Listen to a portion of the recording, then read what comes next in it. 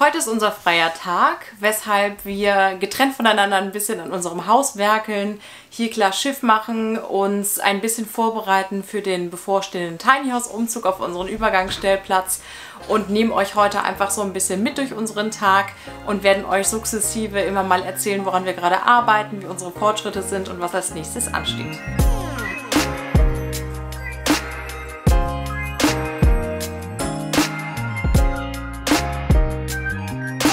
Und Liebling?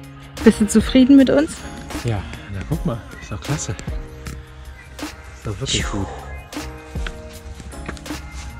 Kommen wir auf jeden Fall, ich würde sagen 15 Meter insgesamt. 15? Meter Einfahrt können wir uns bauen. Wir sind übrigens Ilan, der bereits schon in unserem Minizimmer fleißig ist. Und Anja, schön, dass ihr heute eingeschaltet habt.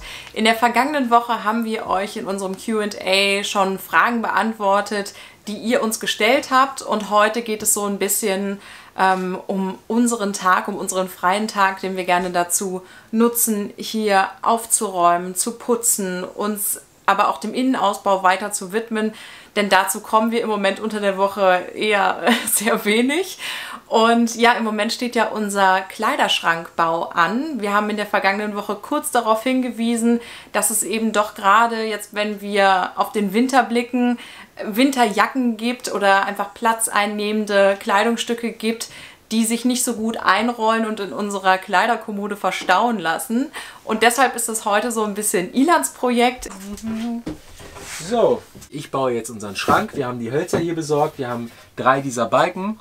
Die sind, äh, ich glaube, 36 oder 38 mal 32 äh, aus Paulownia-Holz. Damit bauen wir ja überwiegend, weil es so unglaublich leicht ist.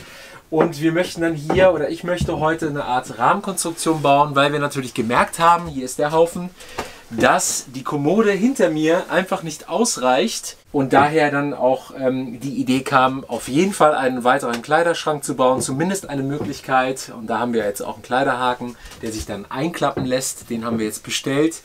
Ähm, das war die Fehlbestellung. Also es, das kann ich auch noch mal kurz zeigen. Es, es entwickelt sich halt alles. Ne? Man bestellt was und man hat dann die ein oder andere Idee, dann verwirft man sie wieder, dann greift man was Neues auf und ja, so entwickelt sich das. Die Überlegung war folgende. Wir wollten mit diesen äh, Kleiderhaken, nenne ich sie jetzt mal, diese klappbaren Kleiderhaken, wollten wir einfach, ähm, ja, sobald der Schrank eben geschlossen ist, dass äh, die Jacken oder die, die Winterjacken und Mäntel, dass wir die platzsparend eben verstauen können und daher auch klappbar. Äh, jetzt ist uns aber aufgefallen, wenn wir jetzt hier was ranhängen, wie beispielsweise so ein Hemd, und das ist das, was ich meine mit, es entwickelt sich. Ähm, ja, ragen wir hier quasi schon mit dem halben Bügel äh, in einen Bereich hinein, den wir gar nicht mehr zur Verfügung haben, wenn ich das hier als Schrank dann bald schließen werde. Das heißt, das funktioniert nicht und die Idee ist jetzt folgende, dass wir das wieder zurückschicken müssen leider, weil es nicht passt. Und dann müssen wir was bestellen, was hier aus der Mitte rauskommt. Hier läuft auch noch ein Balken. Hier ist der. Und äh, dann haben wir etwas, was auch klappbar ist, aber eben nach vorne oder nach unten hin. Das fanden wir ganz gut. Zumindest stören sie dann auch nicht mehr, wenn wir die Tür schließen wollen. Aber das Projekt wird sich jetzt, muss ich ganz ehrlich gestehen, so wie viele andere Projekte hier im Haus entwickeln. Ich fange also jetzt erstmal mit der Grundkonstruktion an und das heißt, dass ich einen Rahmen baue, sodass wir die Möglichkeit haben, hier eben die Wand zu schließen, den Schrank zu schließen und dann auch im Anschluss eine Tür anzubauen, damit es auch wirklich aus unseren Augen ist. Mal gucken, wie weit ich heute komme. Ich finde, das sieht schon ganz gut aus bei Ilan. Äh, deshalb werde ich jetzt hier in der Küche erstmal aufräumen und dann schauen, wie viel Zeit wir heute noch haben und welchen Dingen ich mich außerdem noch widmen kann.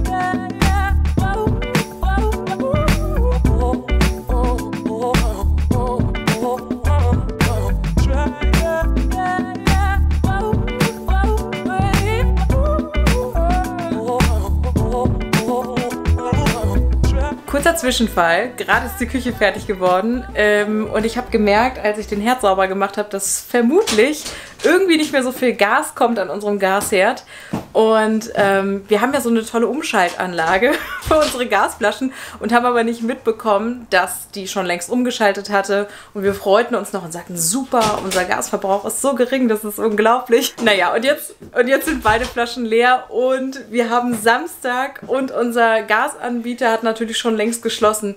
Wir versuchen es jetzt mal ganz kurz noch beim Baumarkt und hoffen, dass wir da noch Gasflaschen kriegen. Problem gelöst. Der Baumarkt hat noch Gasflaschen, das heißt, wir holen jetzt eine neue. Die entspricht zwar nicht dem Pfandsystem, aber es ist total egal. Hauptsache, wir kommen an diesem Wochenende noch an Gas und äh, müssen nicht morgen und übermorgen aufs Kochen verzichten. Das hatten wir tatsächlich noch nicht. Wie kommst du zurecht?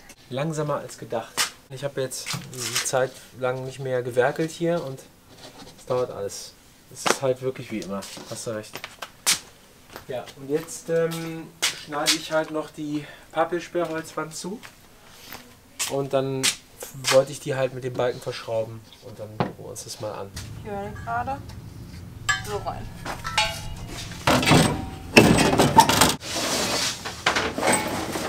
Jetzt wird mir bewusst, dass ich zum ersten Mal die Gasflasche anschließe, weil sonst machst du das immer. Ja.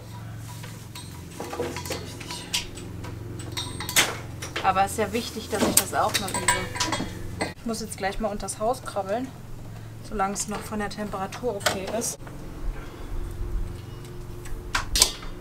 Ha! Cool. Ja? Und dann einmal drücken, ne? Ja, ist grün. Ist richtig zu? Ja. Gas läuft jetzt wieder.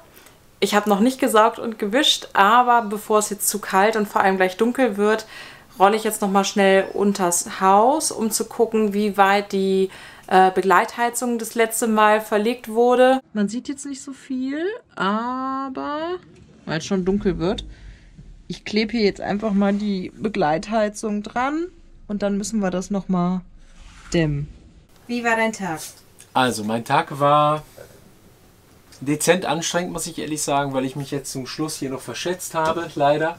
Äh, die Wand passt nicht so, wie ich mir das vorgestellt habe. Aber sonst bin ich schon mal ganz zufrieden, dass wir zumindest eine Rahmenkonstruktion jetzt haben. Hier oben habe ich das befestigt. Ähm, der Rahmen ist quasi so, dass das hier zumindest alles sauber abschließt. Ne? Also hier habe ich noch eine Pappelsperrholzplatte zugeschnitten ähm, und die Aussparungen ähm, berücksichtigt für die, für die Balken. Und äh, hier ist mir dann folgender Fehler passiert. Ich wollte, ich wollte eigentlich, dass diese Platte hier, zeigt sie mal von hinten, dass diese Platte außen an diesen Balken verschraubt wird und von innen an diesen Balken. Jetzt habe ich natürlich nicht berücksichtigt, dass wenn ich hier bündig abschließe und ähm, die Breite von, von der Wand aus bis nach vorne berechne, dann habe ich leider nicht berücksichtigt, dass ich ja diesen Balken noch mitnehmen wollte, um überhaupt das Ganze zu verbinden. Und das hätte jetzt auch, weil die hier unten nämlich nicht befestigt ist, der Balken hier unten oder der Rahmen ist nicht befestigt, der wackelt also noch, ähm, weil das hätte es ausgesteift. Also diese Platte hätte quasi den Balken ausgesteift und ich hätte vielleicht auch eine, mir eine, eine Schraube ersparen können für den Boden, weil wir, wir waren uns halt eben nicht sicher, ob das auch alles so bleibt, wie es, ist und wollten unseren Boden nicht kaputt machen. Aber es wird wahrscheinlich so sein, dass wir dann äh, jetzt diesen Balken hier oder diese Rahmenkonstruktion dann eben mit dem Boden verschrauben müssen. Das heißt, ich muss wahrscheinlich dann äh, kommende Woche nochmal zum Baumarkt und eine neue Pappelsperrholzplatte holen. Aber ansonsten bin ich zufrieden, dass wir ähm, überhaupt ein Ergebnis erstmal haben für den heutigen Tag. Unabhängig davon, dass wir das ja auch mit dem Grundstück heute geschafft haben. Wir hoffen, euch hat das Video heute gefallen. Wir haben euch ja einfach mal mitgenommen hier ähm, in unseren Tagesplan. Und äh, ja, das ist im Grunde ein, meiner Meinung nach, ein sehr erfolgreicher Tag gewesen heute, weil wir zumindest ein paar Baustellen äh, anpacken konnten. Und morgen geht es dann weiter mit dem Grundstück, dass wir dann wirklich die Steine auch auslegen, bis Anja dann abends arbeiten muss. Das heißt, wir ja, wir hangeln uns sukzessive durch, sodass wir dann auch in den nächsten Wochen umziehen können. Und es wird noch ein bisschen Arbeit sein. Hinterlasst uns gerne einen Daumen, wie gesagt, wenn euch das Video gefallen hat. Und wenn ihr wissen wollt, wie die Reise weitergeht, dann abonniert den Kanal. Und wir sehen uns in einer Woche. Tschüss.